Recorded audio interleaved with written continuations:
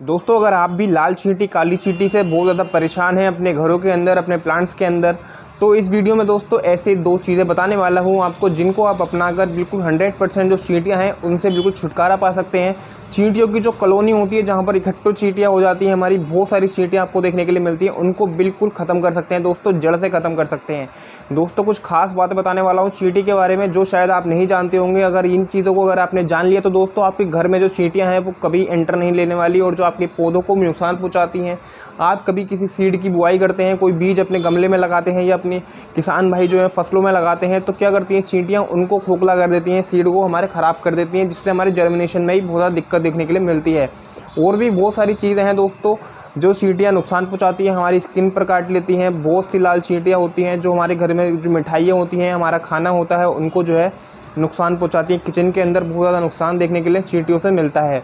तो आज इस वीडियो में बात करने वाले हैं, घर के अंदर अगर आप करेंगे तो ऑर्गेनिक तरीके आपको मैं बता दूँगा, और अगर आप कहीं शॉप पर या अपने घर के आसपास बगीचे में अगर करना है तो आपको केमिकल के बारे में भी इस वीडियो में बताने वाला हूँ। टॉप केमिकल आपको बताने वाला हूँ, जिसका अगर आप एक बार इस्तेमाल कर लेते तो हंड्रेड एंड टेन परसेंट दोस्तों चीटियाँ हैं, वो आपकी जो चीटियों शिकायत है, वो बिल्कुल ख़त्म हो जाएगी। चलिए वीडियो शुरू करते हैं। स्वागत है आपका आपके YouTube channel Tanu agro traders में। दोस्तों, चैनल पर नए हैं तो चैनल को सब्सक्राइब कर लीजिए, बेल नोटिफिकेशन को ऑन कर लीजिए। ऐसी वीडियोज़ में पेस्टिसाइड, केमिकल सर्जेड आपके लिए लाता रहता हूँ। तो चलिए शुरू करते हैं। तो चलिए दोस्तों, बात कर लेते हैं जो आंट की लाइफ साइकिल होती है उसके बारे में। तो जो दोस्तों, आंट होती है हमारी, उसकी लाइफ साइकिल कुछ जिस प्रकार से होती है। पहले एग फिर लार्वा फिर प्यूपा एंड फिर अडल्ट वो हमारी जो होती है, आंट बन जाती है। और दोस्तों, मैं बता दूँ आपको, जो आंट की लाइफ साइकिल होती है, वो कम से कम 20 से 25 साल तक हो सकती है। मतलब आपके घर में अगर कोई कॉलोनी है, आंट की मतलब बहुत ज़्यादा सीटियाँ हर साल, हर जगह आपको देखने के लिए मिलती है। तो आपके घर में कहीं ना कहीं उनकी कॉलोनी है। तो उस कॉलोनी में दोस्तों वो आपको कम से कम 20 से 25 साल तक के लिए देखने के लिए मिल सकती है। वो कैसे दोस्तों? क्योंकि हमारी जो कॉलोनी होती है, उसके अंदर एक जो है क्यून होती है, क्यून जो सिर्फ़ अंडे देने का काम करती है। मतलब रानी चीटी जो होती है, वो एक बार में कम से कम लगातार अंडे देती रहती है। एक बार में पाँच सौ अंडे देती है दोस्तों। फिर उसमें ही जो होती हैं हमारी सोल्जर चीटियाँ होती हैं, कुछ फ़ूड वाली चीटियाँ होती हैं जिनको फ़ूड इकट्ठा करना होता है। कुछ बेबीज़ को संभालने वाली चीटियाँ होती हैं। मतलब इन सब का जो काम होता है दोस्तों अलग अलग डिवाइड रहता है। लेकिन उनमें से जो एक चींटी होती है, रानी चींटी, वो दोस्तों उसकी उम्र आपकी 20 से 25 साल तक होती है, जो लगातार अंडे देने का काम करती है। उसमें एक आपको मेल होता है, एक फ़ीमेल होती है, बाकी सब हमारी जो कॉलोनी में होती हैं, जैसे आंट हमारी सोल्जर चींटियाँ हो गई, कोई अगर अटैक करता है, कोई इंसेक्ट उनकी कॉलोनी पर तो वो उससे उनको प्रोटेक्ट करती हैं।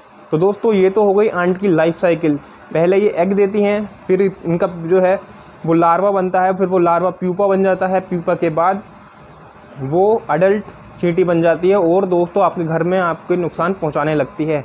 अब बात कर लेते हैं कि इसे ऑर्गेनिक तरीके ऐसे इनसे क्या हो सकते हैं छुटकारा पाने के। तो ऑर्गेनिक तरीके दोस्तों, बता दे रहा हूँ, आपके ही घर में आपको मिल जाती हैं चीज़ें। आप अगर चाहें तो इस पर स्प्रे भी कर सकते हैं पाउडर भी डाल सकते हैं, बहुत सारे केमिकल्स मिल जाते हैं। लेकिन दोस्तों, अगर ऑर्गेनिक तरीके की अगर बात कर लें तो पहले आपको जो ले लेना है, वो होती है फाइनाइल की जो गोलियाँ होती हैं, उनको गर्म पानी में पीस कर डाल लेना है, जिससे वो अच्छे से घुल जाएँ। उसके बाद जो घर में आप डिटोल यूज़ करते हैं, आप डिटोल के एक लीटर पानी में दो तीन ढक्कन आप डाल सकते हैं। उसके बाद उसे स्प्रे बोतल में आप भर लीजिए और अपने घर के चारों तरफ़ जहाँ भी सीटी कॉलोनी दिख रही है, वहाँ पर स्प्रे कर दीजिए। हर हफ़्ते आपको ये स्प्रे करना पड़ेगा क्योंकि इसका जो असर रहता है वो हफ़्ते भर तक रहता है, उसके बाद दोबारा चींटियाँ आपको वहाँ देखने की मिल सकती हैं। तो आप इसका सोल्यूशन जो है एक बोतल में भर के रख लीजिए दोस्तों और इसका स्प्रे करते रहिए। दूसरा ऑर्गेनिक अगर हम तरीका बताएँ तो आपके घर में जो वो जैसे विमवार होता है आप कोई भी सोप ले सकते हैं, कोई सरप ले सकते हैं, उसका पानी आप जो है, अगर उसका पानी का घोल बना लीजिए और जो स्प्रे कर रहे हैं आप, उसमें भी आप स्प्रे कर सकते हैं। लेकिन दोस्तों, ये चीज़ जो आप स्प्रे करेंगे, ये आप पौधों के लिए मैं आपको बता रहा हूँ, क्योंकि आप अगर घर में इसका इस्तेमाल करते हैं तो घर में सब जगह चिकना हो जाएगा सर्फ की वजह से। इसलिए जो इसका, अगर आपके पौधों के ऊपर आपको चींटियाँ देखने के लिए मिल रही हैं तो आप अपने गार्डन में जो चींटियाँ होती हैं, उन पर ये स्प्रे कर सकते हैं अपने प्लांट्स पर। और आपको हंड्रेड एंड टेन परसेंट वहाँ से चींटियाँ आपको अगले दिन और कुछ हाथों हाथ बिल्कुल गायब हो जाएँगी, बिल्कुल देखने के लिए नहीं मिलेंगी। चींटियाँ दोस्तों, हमारे फ्लोवर्स को प्लांट्स को कभी बार काटती हैं, चबा जाती हैं, पत्तियाँ खा जाती हैं, बहुत सी चीज़ें होती हैं दोस्तों ऐसी, जो हमारी चींटियाँ नुकसान पहुँचाती हैं। तो उसके लिए आप ये तरीका अपना सकते हैं। अब बात कर लेते हैं, खेतों में है, अगर हम किसान भाई हमारे फ़सलों में अगर चींटियों को भगाना चाहते हैं तो क्या उपाय करें? क्योंकि दोस्तों, ये तो घरेलू दौरे के हो गए, ये तो आप घर में इस्तेमाल कर रहे हैं तो इसलिए, लेकिन अगर फ़सल में हम इसका इस्तेमाल करें, किसान भाई खेतों में करेंगे तो उसमें हमें केमिकल का यूज़ लेना पड़ेगा।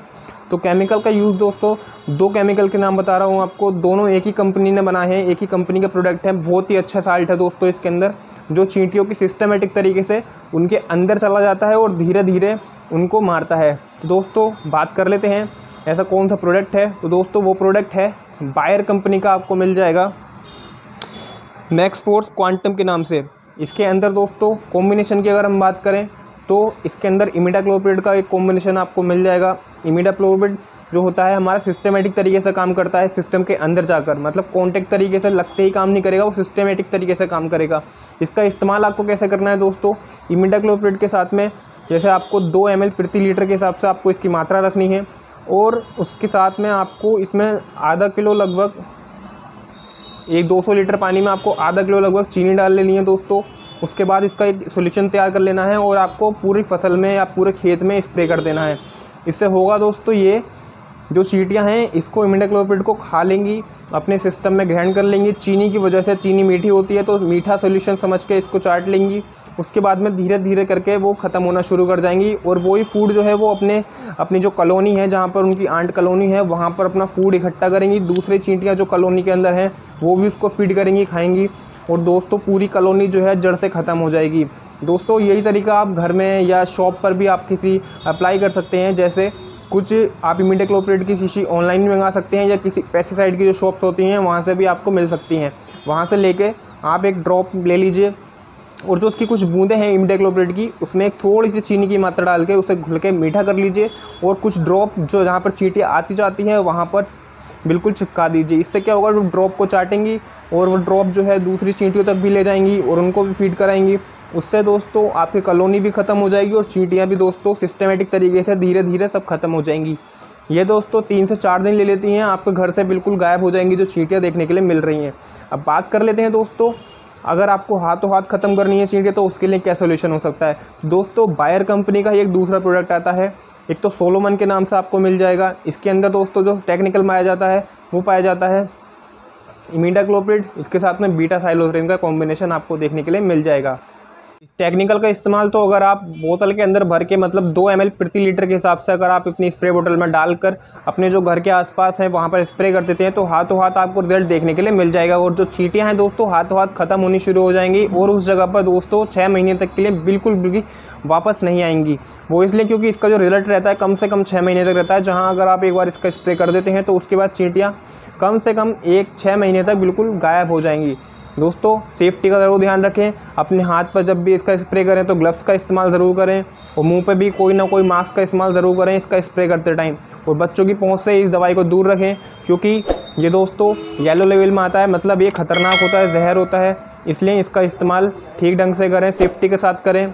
तो दोस्तों, ये थी आज की जानकारी। वीडियो कैसी लगी? इसका इस्तेमाल आप कर सकते हैं वीडियो में जो जानकारी थी। 100 परसेंट दोस्तों, जो चींटियाँ हैं, उनकी समस्या आपको छुटकारा मिल जाएगा। बहुत ही अच्छे रिज़ल्ट आपको देखने के लिए मिलेंगे।